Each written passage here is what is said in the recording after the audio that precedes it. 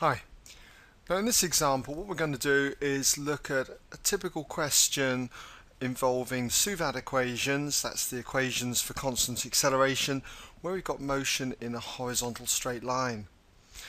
And with this question we've got a particle passes through a point A moving at 2 meters per second and continues with a constant velocity for 5 seconds until it reaches a point B and at B it accelerates at a constant rate for 4 seconds until it passes through a point C moving with a velocity of 5 meters per second. And what we've got to do is find the distance covered and the acceleration from B to C. Now to do something like this I would draw a horizontal straight line okay? And I've got points A, B and C marked on it. And then I'm going to add some more detail. That is the velocities as we pass through A.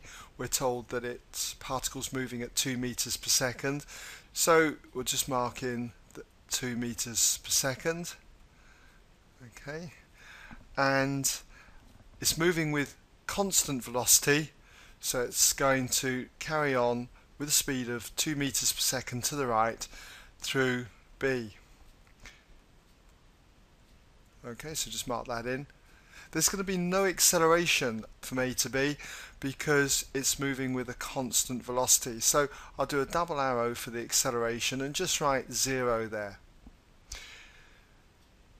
Now as we go from B to C we see that at C it passes through C at 5 meters per second so we'll just put 5 meters per second there and it's accelerating over this section here. So we'll do an acceleration arrow again.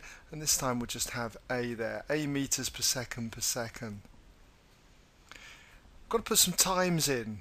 And when I put times in I'd put them in brackets normally. We've got here at a t is naught. This is where it started initially. At b that was five seconds later so we'll have t equals 5 here. 5 seconds. And 4 seconds later it passes through c. So from the point of view of time t will equal 4 seconds beyond the 5 so that's going to be 9 seconds. So that would be the kind of diagram I would do and uh, I'll leave it up to you to decide whether you would do something similar. Now, we've got to find the distance covered. So I need to work out the distance through A to B and then from B to C. Well, let's start with A to B first of all. Okay, so for this section, what we know is it's going at a constant speed. So we should be aware of the formula then that distance covered is equal to the speed times the time or because it's going out to the right we could say that it was s for displacement equals the initial speed u times the time t.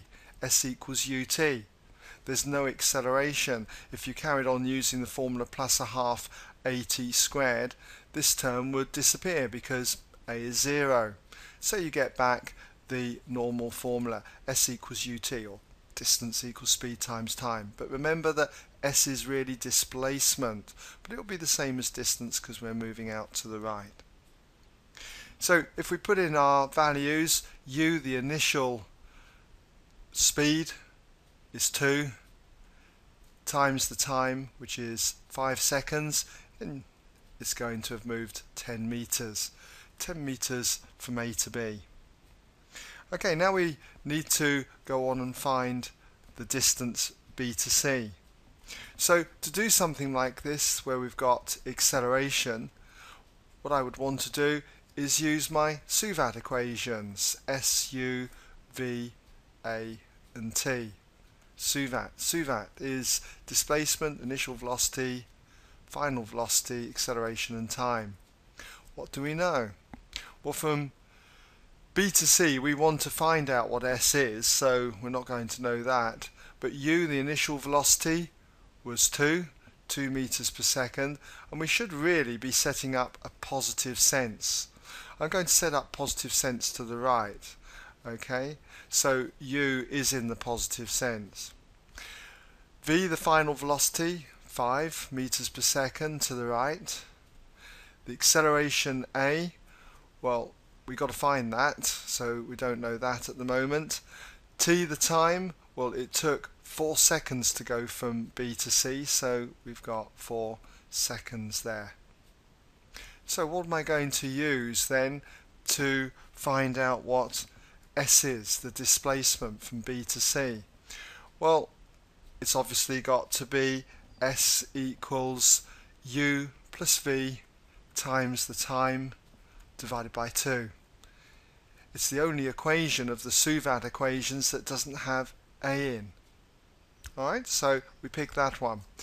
And if we fill in the values, u is 2, v is 5, multiply that by the time t of 4 seconds and divide the answer by 2, and what you get is 14.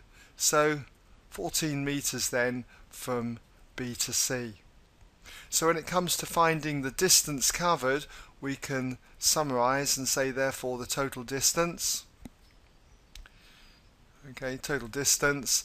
Let's say AC okay? Equals what is going to be the 10 plus the 14 meters giving us a total distance of 24 meters then. Okay so that's that part done. And now we've got to find out the acceleration across here the A from B to C. Well to do that what I'm going to do is use the formula V equals U plus AT. Okay, we could rearrange this for A, which is really the basic definition for A, that is the change in velocity, V minus U, divided by the time taken. So you could go straight to that one really if you wanted to. But if we put our values in, we've got V, the final velocity 5, minus the initial velocity which was the 2 here and then divided by the time taken to go from 2 to 5 which was 4 seconds. So therefore you've got 3 divided by 4 3 quarters or as a decimal 0.75 meters per second per second. And there you have it